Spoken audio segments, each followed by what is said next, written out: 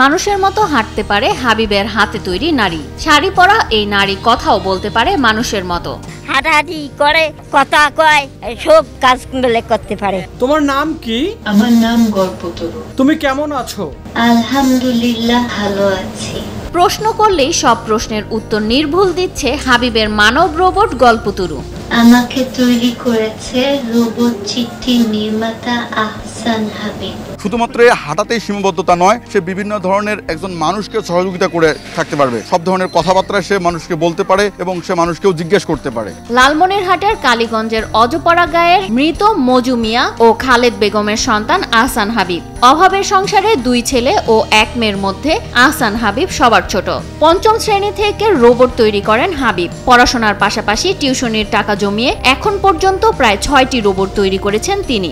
আমাদের গ্রামের হাবিব ভাইয়া এত সুন্দর রোবট বানিয়েছে, আমি নিজেও কল্পনা করতে পারছি না। ক্লাস ফাইভত পড়ে তখন থাকিয়ে মানে ছোট, একটা ছোট রোবট বানাইছে। তখন থেকে ওই প্রাইভেট পড়ায়, ওই প্রাইভেটের টাকা আবার মানুষের আমার চাচারটে আমার মায়েরটে ধার ধুর করে নিয়ে মনে করেন যে টাকা পয়সা সংগ্রহ করে রোবট বানায়। দুই হাজার বাইশ সালে চিট্টি নামে একটি রোবট তৈরি করে সারা ফেলেন হাবিব। এরপর তৈরি করেন সুফিয়া পারিসা এবং গল্পতরু নামের আরও কয়েকটি রোবট। রোবট তৈরিতে বিভিন্ন স্থানে পেয়েছেন প্রথম পুরস্কারও। বর্তমানে Habib Daffodil university multimedia and creative টেকনোলজির প্রথম বর্ষের শিক্ষার্থী।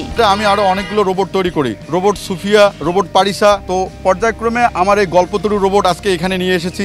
স্থানীয় মানিক বাজারে প্রকাশ্যে হেঁটে বেড়াচ্ছে গল্পতরু।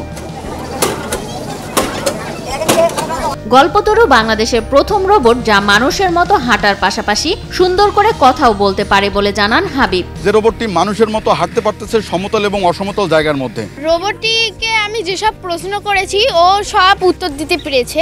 রোবটটিকে আমার অনেক ভালো লেগেছে। এটি বাংলাদেশের একটি প্রথম রোবট যেটি হচ্ছে মানুষের মতো স্টেপ বাই স্টেপ সে হাঁটতে পারে ফিজিক্যালি আসলে এই হাঁটা রোবট বাংলাদেশে নাই বললেই চলে। হাবিবের এই গল্পতরু ব্যাটারি ও অ্যাপসের মাধ্যমে নিয়ন্ত্রণ করা যায়। এ রোবট ট্রাফিক নিয়ন্ত্রণ করা থেকে শুরু করে মেহমানদের আপ্যায়ন, মানুষের দেখাশোনা, খাবার পরিবেশন সহ বিভিন্ন কাজ করতে পারে।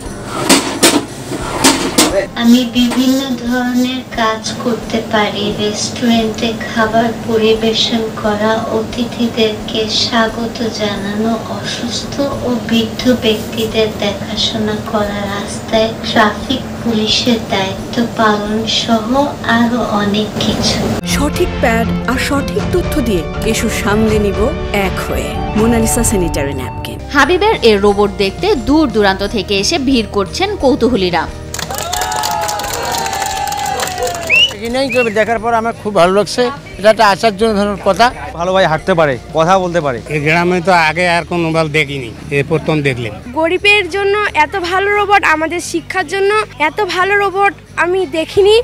হাবিব ভাইয়াকে ধন্যবাদ জানাই আমাদের জন্য এইরকম রোবট বানা- বানানোর জন্য। তরুণ উদ্যোক্তা আসান হাবিবের রোবট তৈরির প্রতিভা দেখে মুগ্ধ লালমনিরহাটের কালীগঞ্জ উপজেলার নির্বাহী কর্মকর্তা জহির ইমাম। লোকাল টেকনোলজি ব্যবহার করে সে এত সুন্দর একটা আউটপুট দেখিয়েছে রোবট তৈরি করেছে। তার যে কোনো ধরনের সহযোগিতা যদি উপজেলা প্রশাসনের পক্ষ থেকে করা যায় আমি খুশি হব তাকে আমি যদি সহযোগিতা করতে পারি।